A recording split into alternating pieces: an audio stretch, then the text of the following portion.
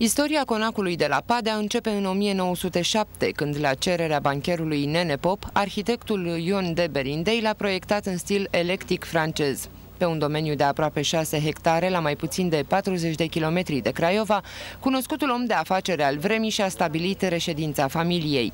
Conacul de numele căruia se leagă numeroase legende ar fi fost construit în cinstea soției bancherului, Reli.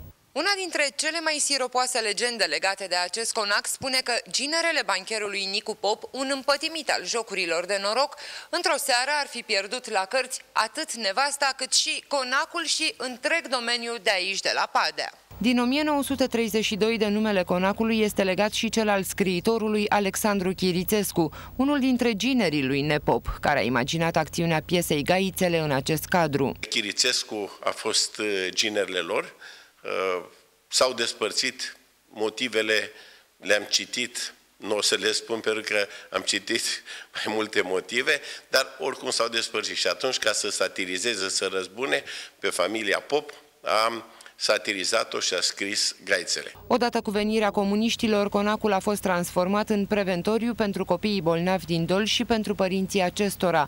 Monumentul a avut însă noroc. Soții Ionescu, medicii care aveau grijă de micuții pacienți, au întreținut și clădirea. Asta până prin anii 90, când locul a căzut pradă hoților. În mod surprinzător, cele mai valoroase obiecte din această clădire au scăpat de mâna hoților. Soba, oglinzile de cristal sau parchetul sunt cele puse în 1907 atunci când a fost construită clădirea. Conacul și locul pitoresc în care este amplasat au atras însă atenția unui om de afaceri din Dolj care în urmă cu câțiva ani a reușit să-l cumpere și să-l restaureze. Ne-am apucat prima dată să facem parcul, să rărim. După aceea am făcut un proiect pentru reabilitarea Cornacului cu contribuții și de la Uniunea Europeană.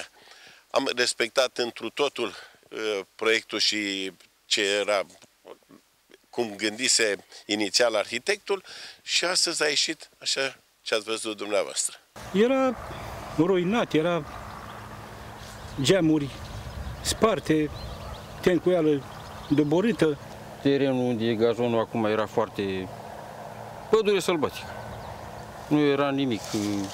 Nu pute, dacă intrați 10 metri, nu mai puteai să ieși afară. A făcut o treabă bună.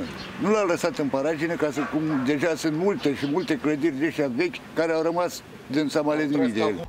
Din 2013, conacul de la Padea strălucește ca o dinioară, deși acum este o pensiune de patru margarete inclusă în rețeaua turistică.